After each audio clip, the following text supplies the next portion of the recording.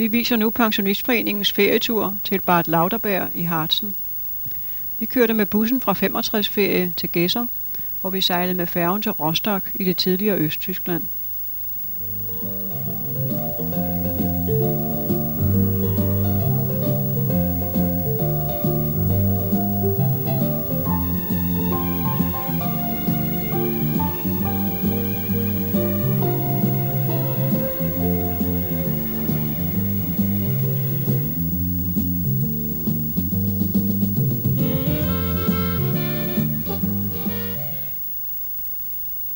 Vi kørte gennem et afvekslende landskab med små byer og på hyggelige veje.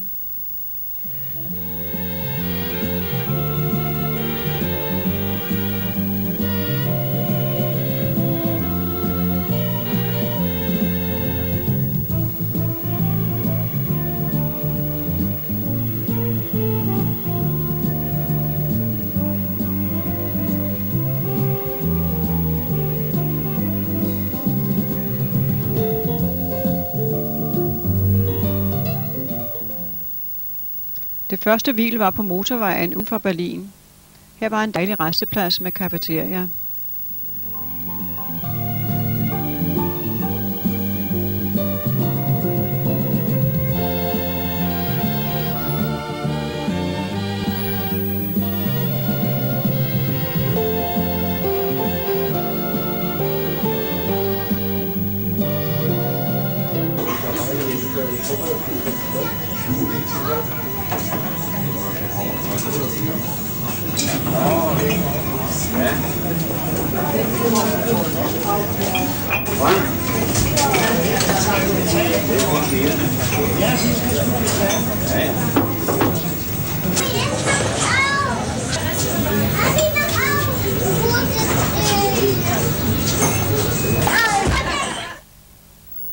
Men så opstod der pludselig problemer med de tyske småpenge.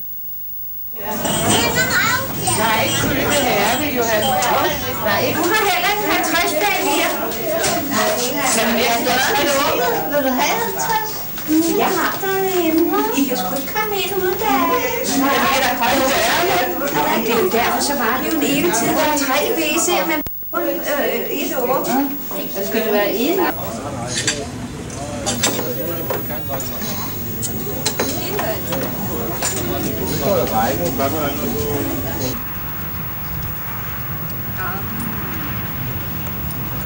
Det smager godt, det lumumba.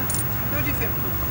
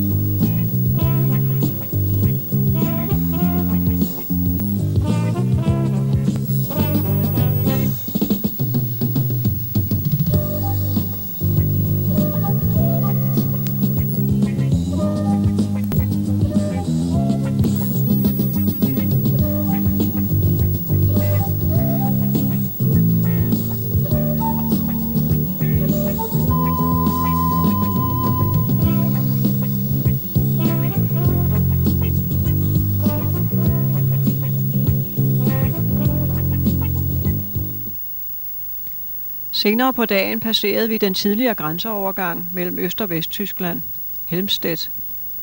Det lignede nærmest en idrætsplads med alle de projektører. Her så vi også resterne af muren.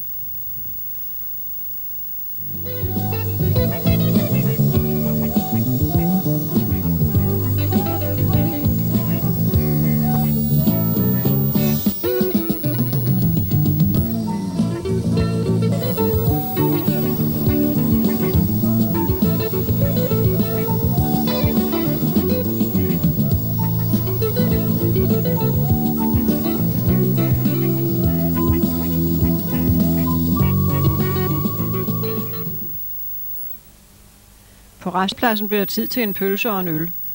mens Asger og Henning ordnede verdenssituationen.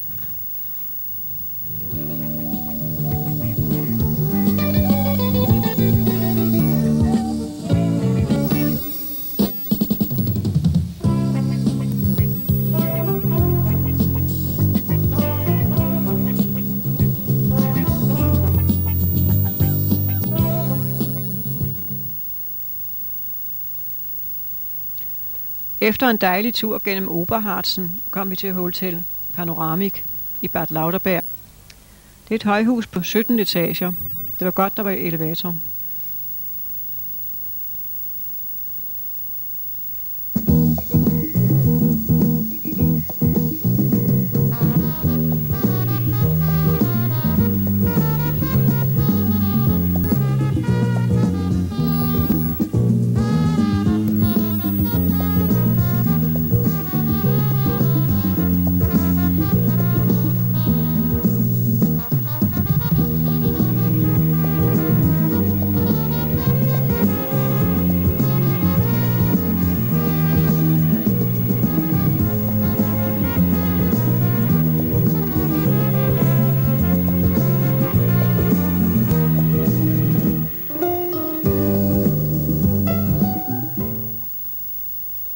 Hotelværelserne var meget fine, med udsigt til de skovklædte bjerge.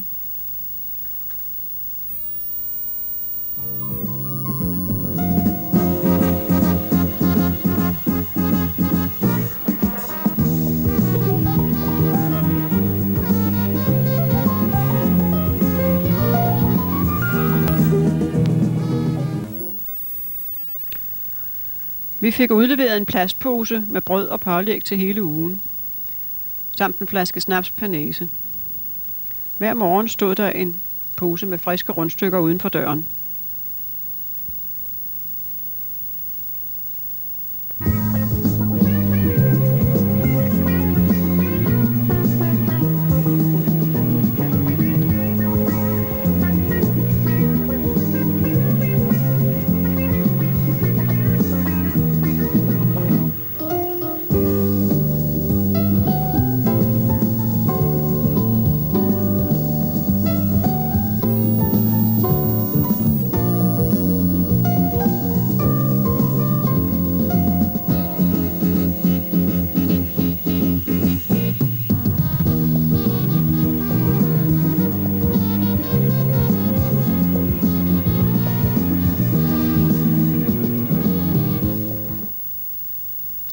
På anden dagen var vi på udflugt.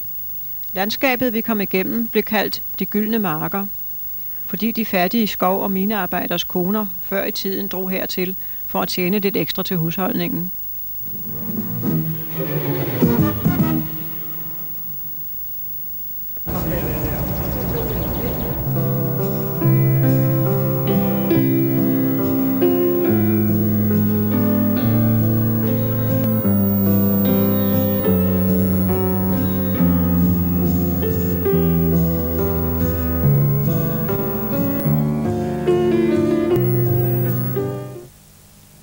Kom til middelalderbyen Duderstadt, som er en meget gammel by. Den er nævnt i skrifter fra før 929.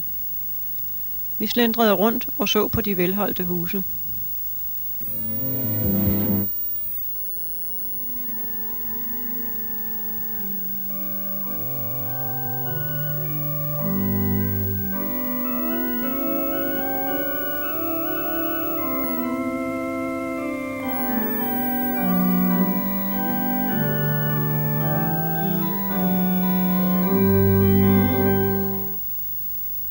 Kirken og rådhuset var fra det 13. århundrede. Skulle man mon skrifte nu?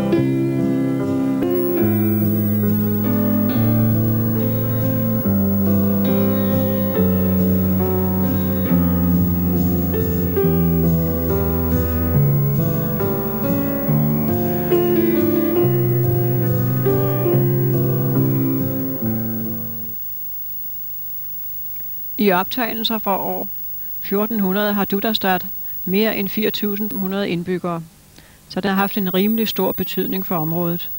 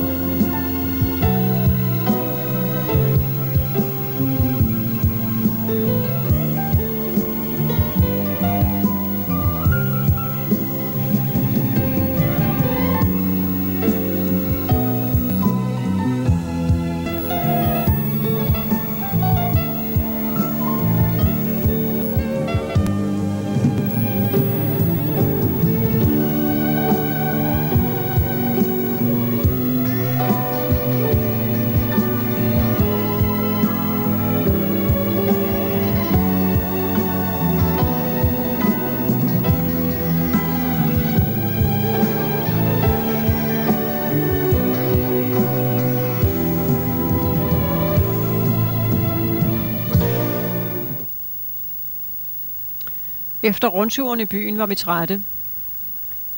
Men heldigvis var der en bar i bussen. Her kunne vi købe kaffe og lumumba, som vi nød på torvet, mens snakken den gik. Ja, det får en. Den ting ikke, at vi skal købe den ind i. Ja, en halv. Der er kun en halv. Hvad siger? Jeg vil prøve at tage Paulus. Ja. Kom nu også, sæt dig ned.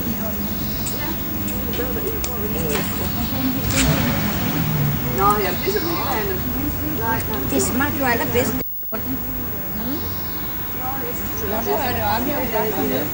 Ja, jeg tror, den havde lagt sig på bunden, og det var da meget godt, for jeg spildte noget af det der. Jeg havde tasken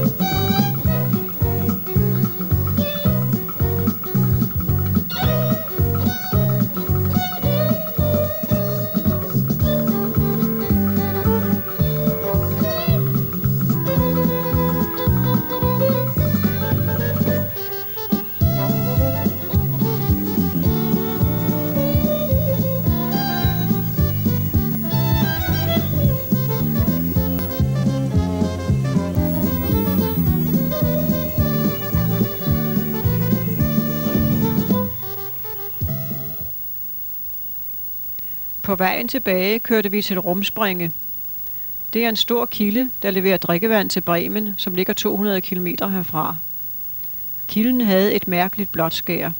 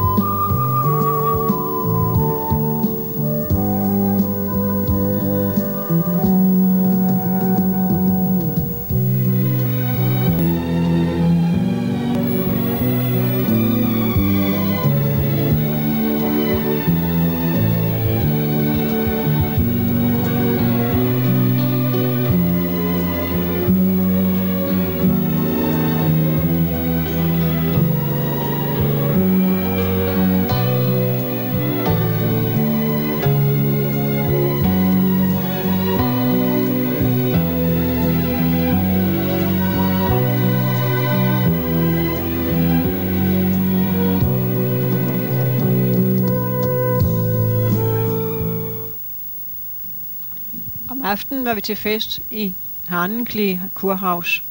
Vi fik en lækker middag, og bagefter var der underholdning af en lokal folkloregruppe.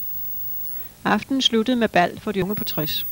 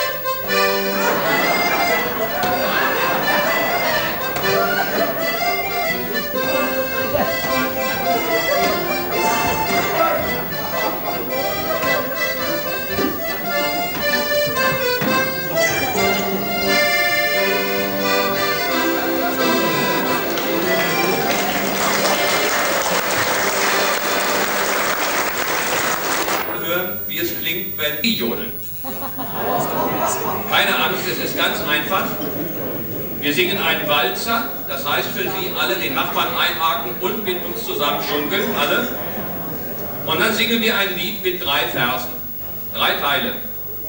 Wir singen und jodeln den ersten Vers. Da können Sie zuhören.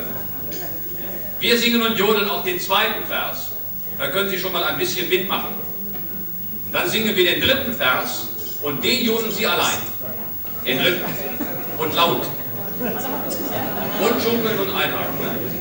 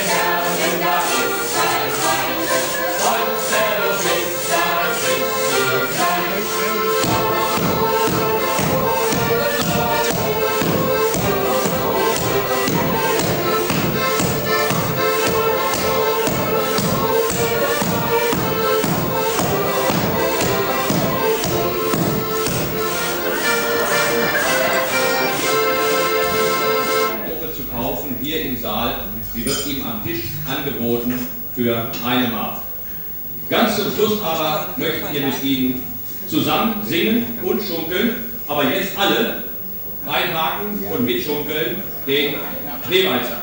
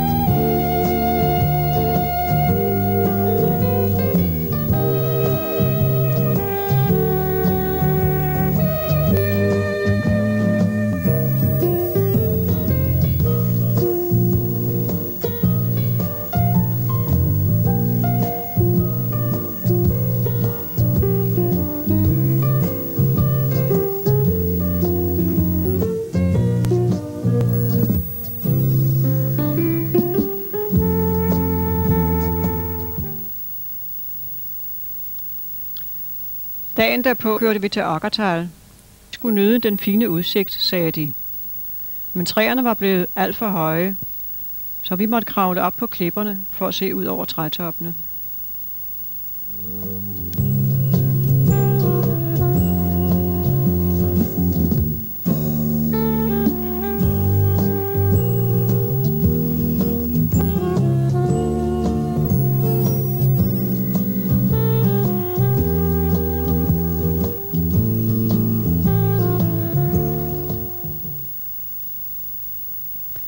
Så kom vi til en lille by ved foden af Bloksbjerg. Den hed Cirke. Under DDR var byen afspærret fra det øvrige område, og kun de øverste stasiofficerer måtte komme her med deres familie for at holde ferie.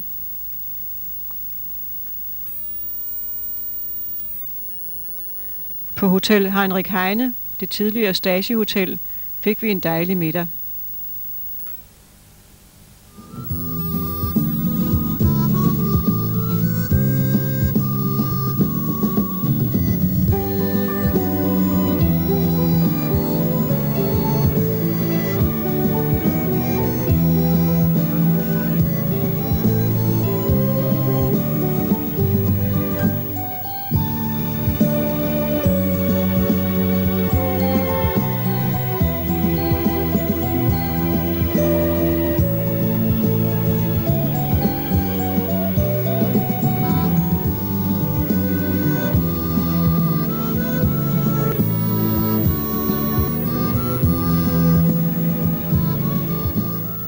Videre kørte vi forbi en klippe, som hed Feuerstein.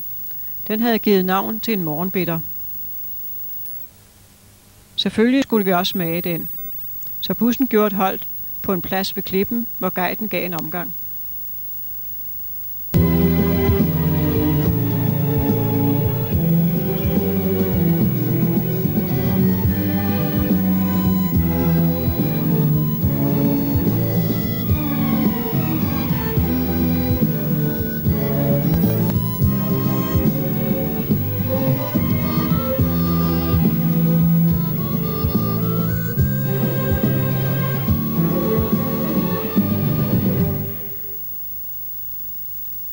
Vi skulle også prøve at køre med Harzer smalsporbaren. Et damptog, der kører gennem Østharsens skove.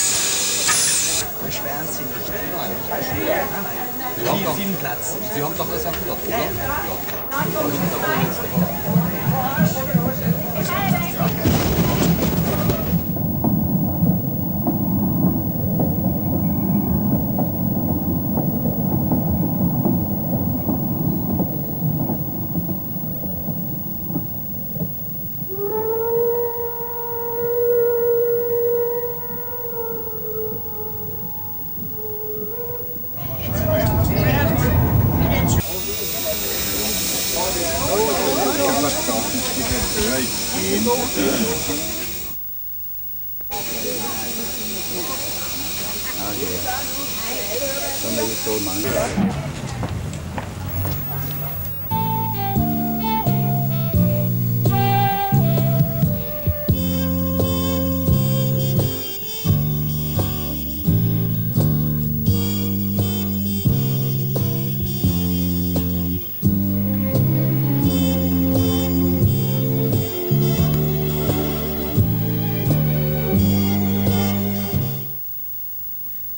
kørte med toget til Wernigerode, der med sit flotte rødhus og mange gamle huse bliver kaldt Østtysklands Gosler.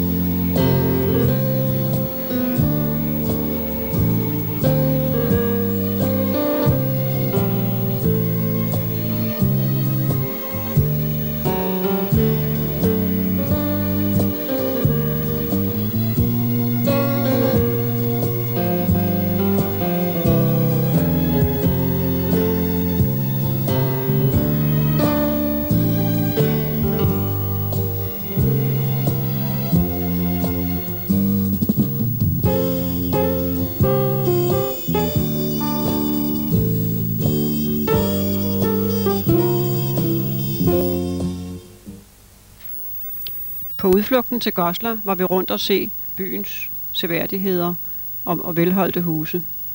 Savnet fortæller, at dukatmanden på hushjørnet er årsag til byens rigdom.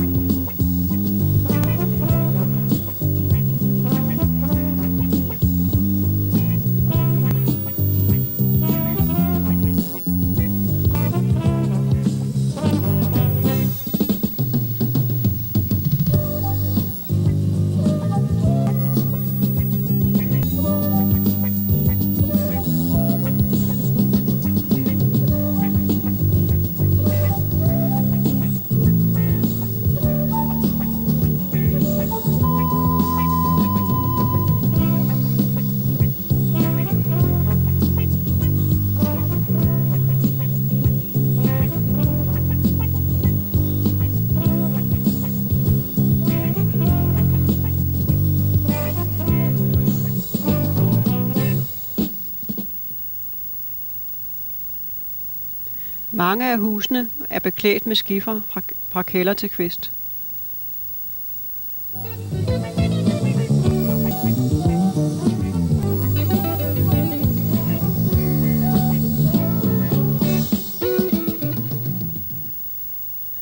Ved floden var en gammel skvatmølle. I forrige århundrede blev der brygget øl af flodvandet. Det var forhåbentlig renere dengang.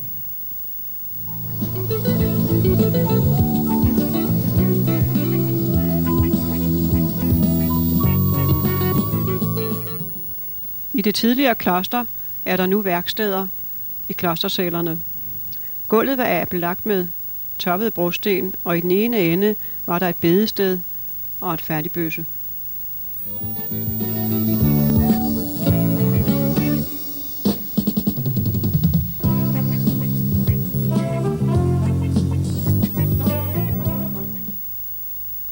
Klokken 12 samles alle turister på torvet for at overvære byens berømte klokkespil.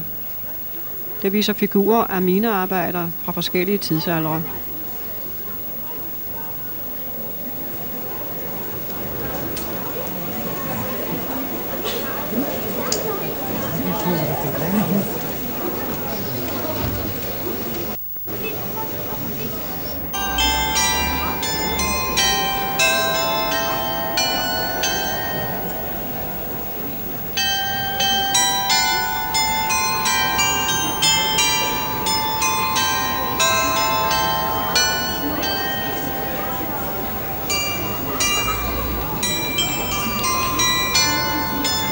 10年代で。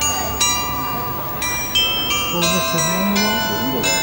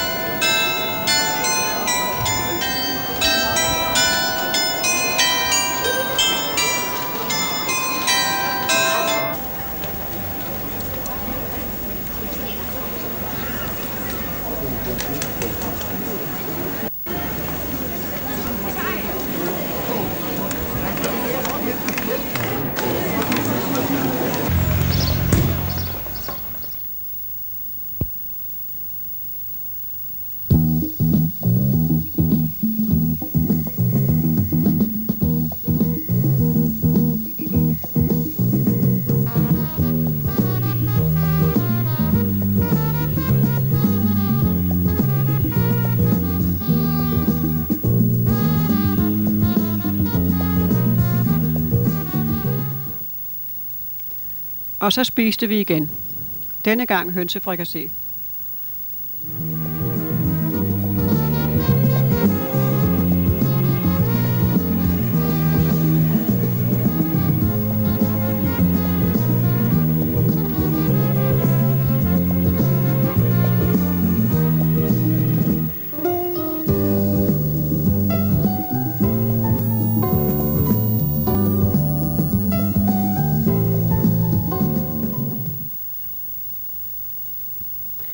Besøgte den store dæmning over Okkertal.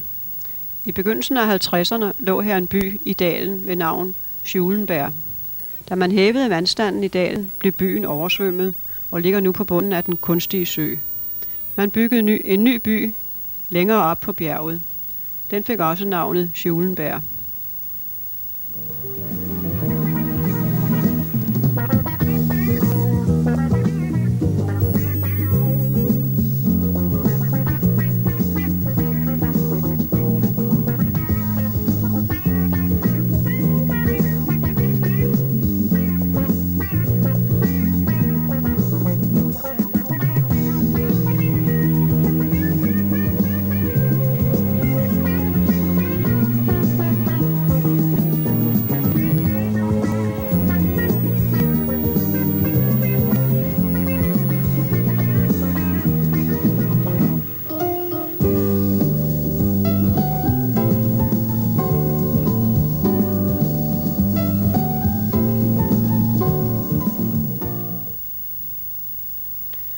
Når vi, når vi var ude på ture, var det en behagelighed, at der var servering i bussen. Nikolaj sørgede godt for os.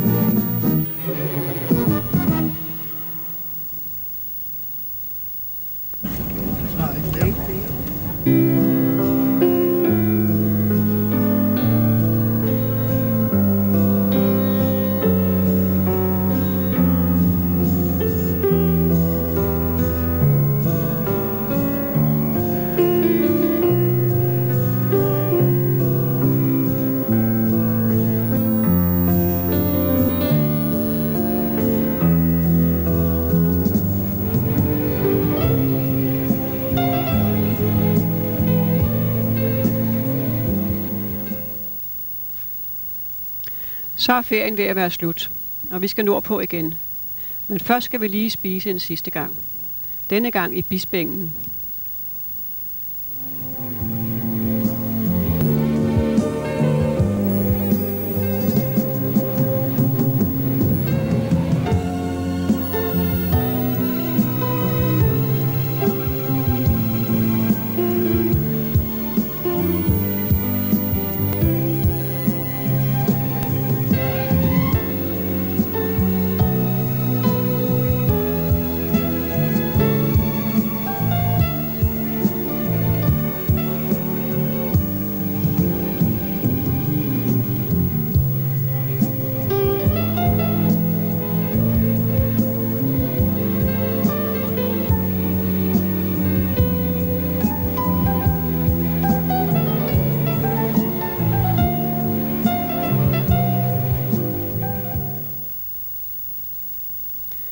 Vi kommer over Putgarden Rødby på hjemvejen, og snart er vi igen i Ishøj. En dejlig ferie er slut.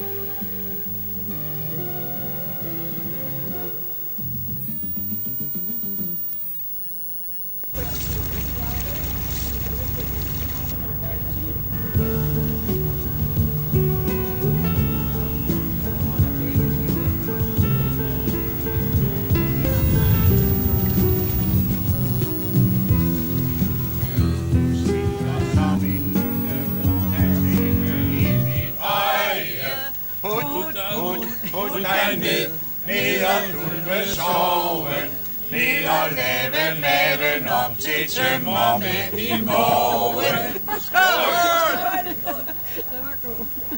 Så skal den ud af vandre, og give den og mange flere, den samme vej må vandre. Vi hæver den, vi sænker den, og skåler med hverandre. Skål! Nu skal jeg sgu have noget at spise. Wow. Nu har du arbejdet. Så nu har du... Ja, nej. Ja. Du skal ikke begynde at kigge væk af mit. Sæt dig ned. Nej, nej. Det var dig, der tog gas på mig. Nej, Det var ikke gas, det var sgu alvor. Det var ham. Det var ham, går rundt.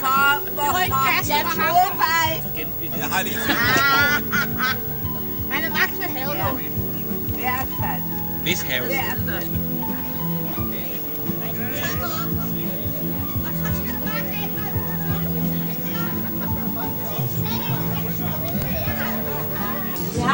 tomme flasker. Jamen, der har, der har været noget i.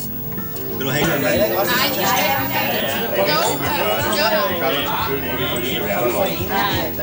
Og man kan ikke spørge, hvem du er. Så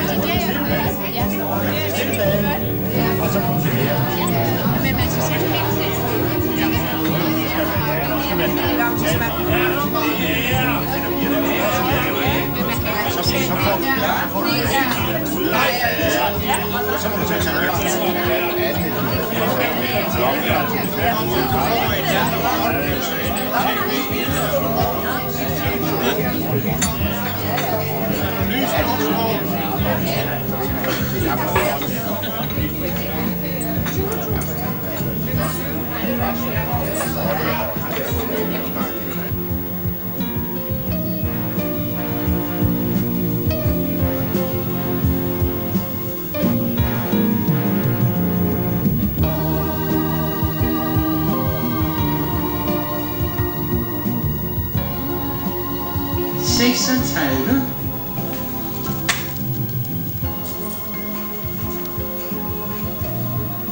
não haver